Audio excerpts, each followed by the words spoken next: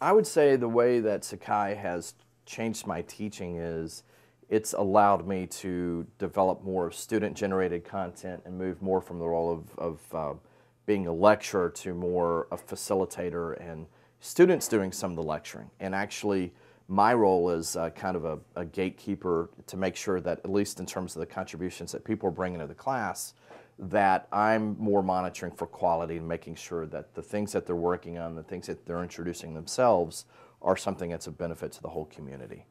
Um, for the courses I'm teaching, uh, especially the research methods course, I try to focus on student generated content.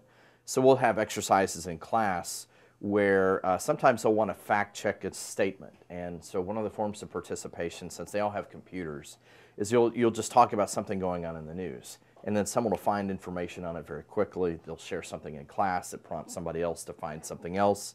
And then the next thing you know is that we have something here where we can in integrate it all within Sakai within a matter of seconds. They can all stay where they are and upload the content straight to their computers. We don't have to have something on the overhead um, they can put it on their computers, give short mini presentations from their seat. Everyone else can immediately see it where they're sitting. And so it just increases the volume and quality of content that we can have within minutes.